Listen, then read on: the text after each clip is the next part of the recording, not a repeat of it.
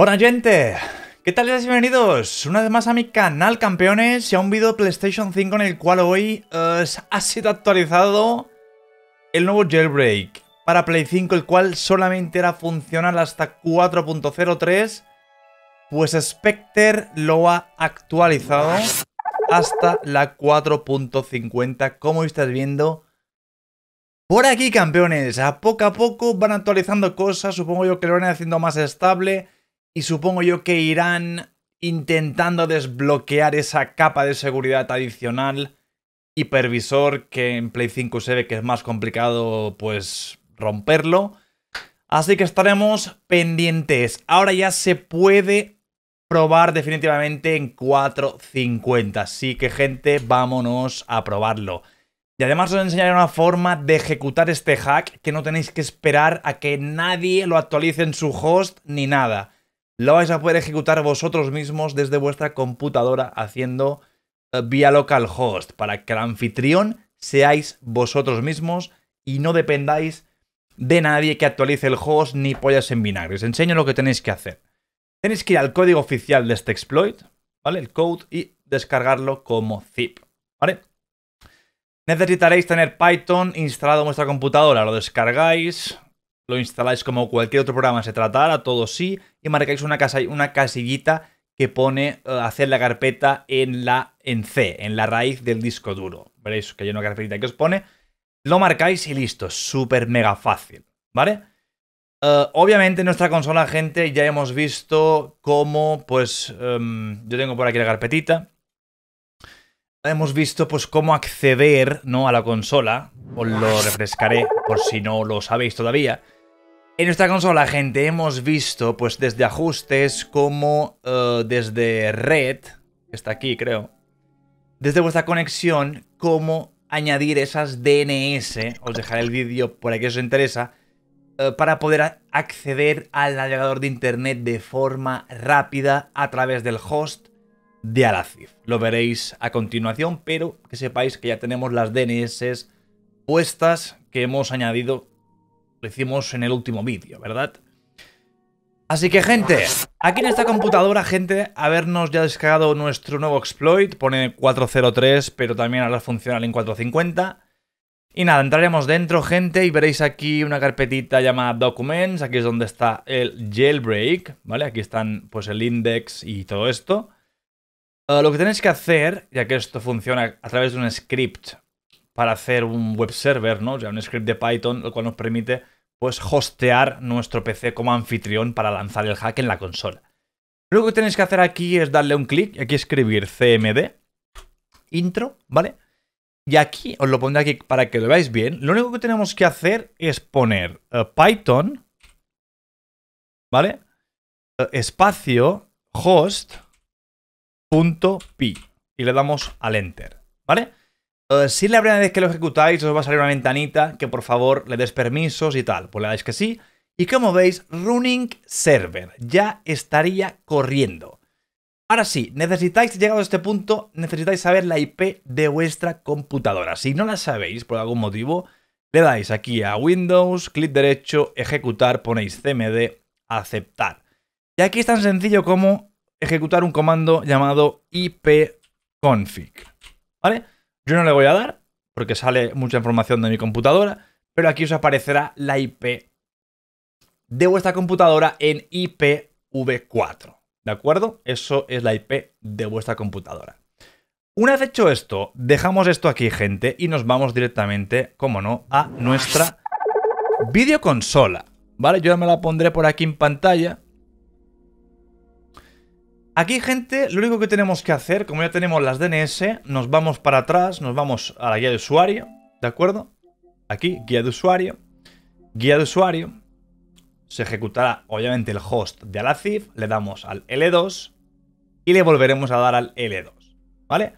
Aquí lo que vamos a hacer es súper fácil, poner la IP de nuestra computadora. En mi caso es 192, 168, 2... 102. ¿Vale? Terminar y submit. ¿Ok? Le decimos que sí. Y como estáis viendo, es que os lo voy a enseñar, ¿vale? Para que lo veáis bien. Como estáis viendo, esto lo podemos minimizar. Estamos exactamente viendo las mismas carpetas en mi Play 5 que tengo yo en mi computadora. ¿Vale? Ahora simplemente nos iremos a mm, Documents. ¿Vale? Documents en PS5, que sería aquí dentro. ¿Vale? Una vez entremos dentro de PS5, pues se va a ejecutar, obviamente, el jailbreak. Así que le damos por aquí. Y como veis, va a aparecer esto. El jailbreak os digo que es súper inestable, así que puede funcionar la primera o puede que no. Simplemente le damos a aceptar. Como veis, está yendo bastante para abajo. Y como veis, Connecting to RPC Server. Le damos al botón PlayStation. Más donde vamos para atrás. En este caso ha habido kernel panic. Pero ya desde este punto os debería de aparecer ya las debug settings. ¿De acuerdo? Voy a intentarlo una vez más y a ver si tenemos suerte. Buena gente, no sé si es la quinta o sexta vez que lo pruebo más o menos en mi PlayStation 4. 4.50, chavales. Vamos aquí, vamos al lío y vamos a ver si ahora lo obtenemos de forma correcta. Vamos a ver, no hay espacio suficiente, no pasa nada. Lo va a intentar de vuelta y tenemos el ready y parece ser que sí, parece ver que sí, fijaros. Tenemos el connecting to RPC server en 10 segundos. Eh, normalmente aquí es cuando ya lo tienes directamente ejecutado correctamente y ya literalmente podríamos ir para atrás a ver si realmente tenemos la opción en ajustes, mastodontes, nos vamos abajo del todo y... Plus plus. ñaca ñaca. Vamos a ponerlo más grande. Para que lo veáis correctamente lo que tengo aquí debajo mía. Debug settings. Vale, aquí estoy tapando yo bastante las opciones. Fijaros, ¿vale?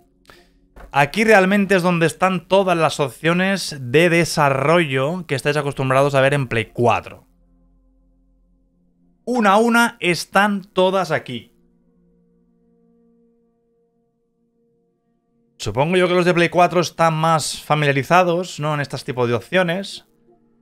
Em, pero bueno, aquí tenéis las de esta gente. Aquí en Game es donde se instalarían los paquetes, en package installer. Pero obviamente yo no tengo ningún PKG ni USB ni nada pinchado. O sea, tengo un, un disco duro externo, pero no, no hay nada, ¿vale? Em, y obviamente se pueden instalar, pero no arrancan. ¿De acuerdo? No arrancan. Se pueden instalar PKG. Supongo que más adelante pues vendrán los ajustes para que todos nosotros podamos instalar PKGs, pero de momento no. No funcionan los paquetes. Pero bueno, tenemos debug settings. Es un gran avance, lo quieras o no, aunque no se pueda hacer nada. Desde aquí, pues supongo yo que van a empezar a desbloquear cosillas con el tiempo. Y repito, mastodontes, información de la consola. Ahí tenéis mi consola en 4.50. Vale, el hack funciona eh, hasta ahora mismo en 4.50, 4.03 y se dice que en 4.51 creo y bueno, habrá que ver si funcionan 5.0.0, que o está parcheado, no lo sabemos exactamente en estas versiones. Y en 6.00 seguramente Sony lo tenga parcheado, ya que todo esto se reveló a Sony en su debido momento, ¿no? Así que bueno, gente, el hack está ahí. Esperaremos nuevos updates, esperaremos la forma ya de desbloquear al menos juegos de PS4, retro, algún emulador que caiga y bueno, y ya veremos lo que pasa con los juegos de PlayStation 5 y ese hipervisor que nos está bloqueando pues que los PKGs y todo se ejecuten. Al menos los PKGs que pudieran ser desempaquetados, o sea, que no tuvieran licencia ni nada. Ahí ya veremos lo que ocurre. Así que nada, gente.